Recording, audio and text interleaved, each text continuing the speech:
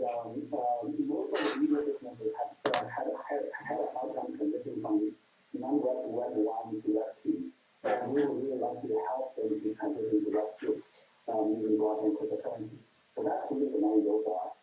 And, and it sort of fits into what we talked to you last time about Binance becoming less Wild West, more credibility, working with regulators. So I wonder why is traditional media the route here versus going direct, building it yourself with Web3 tools, which some might argue is more in line with those principles?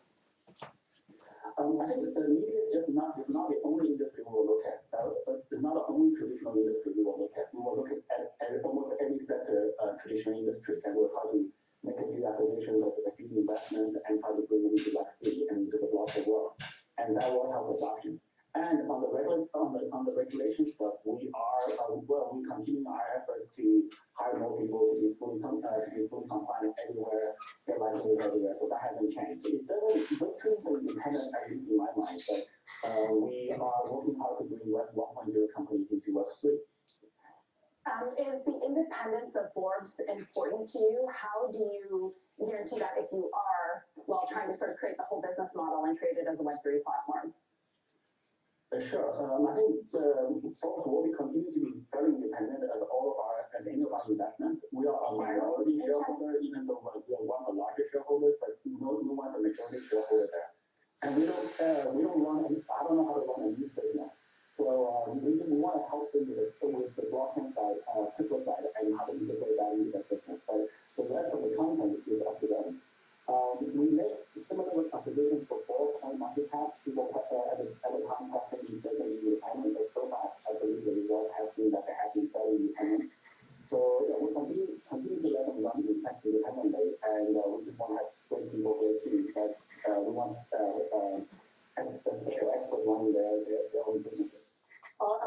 you're talking about using blockchain somehow for micropayments, I don't understand how this helps Forbes or its business model at all. I mean, the, on the editorial side, as you seem to allude to, journalism to some degree, I think, is necessarily centralized in the sense that you have to know the uh, the philosophy and the ethics with which the organization is operating. And then on the business side, to some degree, you want to know who your readers and subscribers are and what they want in order to deliver the content to them. So the idea of the idea of anonymity and decentralization how it applies here. Do you have an, an idea?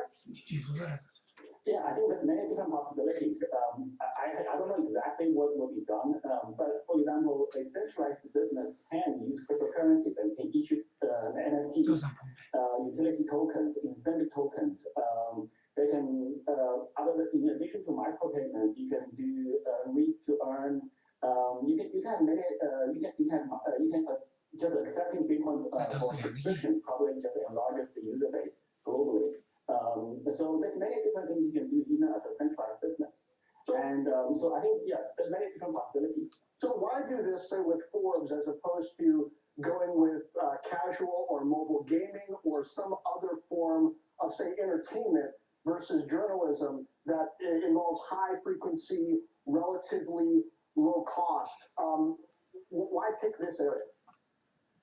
Um, I think we're picking every area that you mentioned. So we are looking at gaming companies, we're looking at entertainment companies, etc. We're doing partnerships, we're doing investments, and we sometimes even even do acquisitions. So we want to work with in multiple sectors uh, in the traditional industry and try to bring uh, uh, bring them into crypto or bring crypto to them. So uh, yeah, so we're, we're not ruling out any of them. It's just that this is probably one of the earlier deals. Um, the, and this is Forbes is you know famous and has a very uh, strong brand um, uh, uh, uh, presence, but we will do this in other sectors as well. Forbes is famous. It's also a little bit infamous at the moment, especially you know after it came out this week that one of the crypto hackers, uh, Heather Morgan, who was accused of trying to launder 4.5 billion dollars in cryptocurrencies in a hack, as a contributor, publishing more than 40 articles on the site. Um, is he aiming your credibility? Why Forbes instead of something else? Um, I think well, um, I think basically um, uh, Forbes. Uh, well, number one is like we look at uh, a spectrum of uh, uh, different businesses and there's right fits um, and what's available. Not not every agency is open for investments.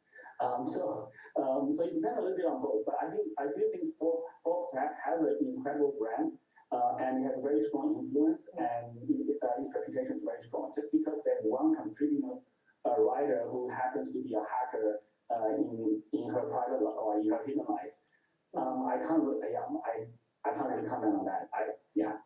Um, Cynthia, do you want to talk about your business finance? And I want to ask you about spot transaction fees. You charge, um, I believe, one tenth of a percent in the US for transaction. So Coinbase charges as much as five times that. Um, I wonder, are there other costs to your users? How do they know that they're getting the best price and the best spread from Binance? Yeah, so um, we adopted there. So I think there's no other costs. Uh, in fact, um, for other crypto exchanges, uh, even when they charge a much higher fee, typically like five to ten x of ours, they still make a spread on top of that, uh, which is a hidden fee. But we actually don't do that. So Binance always strives to be the yeah, so Binance always strives, to be the lowest fee possible from, from our perspective, and then um, we just want more users to come in. We want the lowest friction for users to access crypto. But how do they know that they're getting the best price, that you're matching them up with the best price? Um, well, um, from a user perspective, they may not, they, like, the easiest thing to do is for them to buy some crypto on Binance and versus another platform, see what prices they get. And uh, how much they spend and how much, how much points they get. Um, that, like, take a thousand dollars and try it on both platforms and you'll find out. Okay, Jonathan, last um, question for you. What makes Binance's stablecoin BUSD different than some of the others out there like Tether and Circle? Um, so number one, Binance USD is actually not issued by Binance. It's issued by Paxos, which is a NYDFS uh, licensed ent- uh, entity uh, um, operating out of New York. So we don't issue it and we don't we don't control it. Uh, we just help to promote it because you know uh, we have a brand new uh, collaboration. Um, I do believe uh, I believe B, BUSD is the most uh, uh, uh, the most popularly backed and, and their reserves are the highest uh, of any crypto uh, of any stablecoin. Um, it's different from Tether. Tether is more or less like a black box. I never, no one uh, ever audited it, including myself. I, I don't have any information that's not public. Your website kind of your website though says that BUSD is subject to regular audits, but they're actually attestations, right? Can you just clarify for us if they're audits or attestations? I'm not sure I'm actually not sure of the technical detail, to be honest. Uh, um, so the audits will be done by Paxos, uh, and they will be conducted with Paxos. So we don't really manage the reserves at all. Um, we just help to promote that uh, stablecoin, and um, it, uh, we lend our brand to it, and um, it does have uh, uh, it does have the strongest reserve backing. CZ, thank you so much for coming on to chat with us. We hope to talk to you again soon. Thank you for having me. Still ahead this morning, the CEO of Sonos is going to join us. That stock is popping on earnings. We'll get more on Disney's blowout quarter. Uber is still halted for news. Tech Check is back in a moment. Yeah. Can I, can I show break break down